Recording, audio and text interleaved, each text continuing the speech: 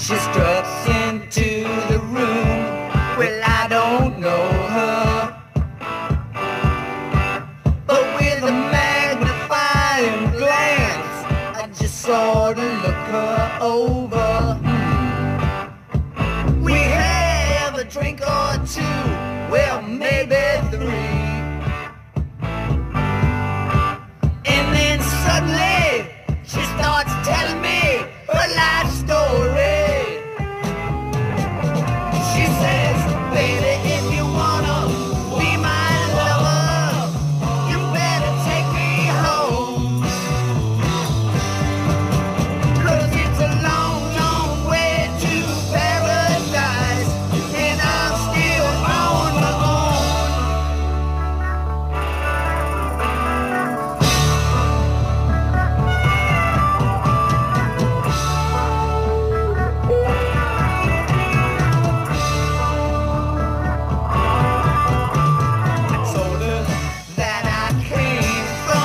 Detroit City.